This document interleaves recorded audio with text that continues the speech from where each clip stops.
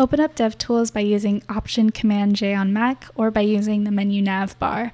1. Good console logging. I found out you can wrap whatever variable you're trying to debug in curly brackets and it'll print out the whole object versus the value, if that makes sense.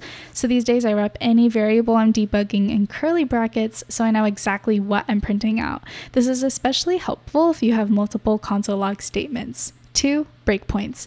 On Mac, use Command O and start typing the name of the file you'd like to debug. Depending on your application, sometimes the debugger will let you pause on that particular line of code, sometimes it won't.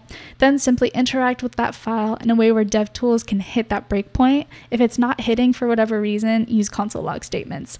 3. Network tab.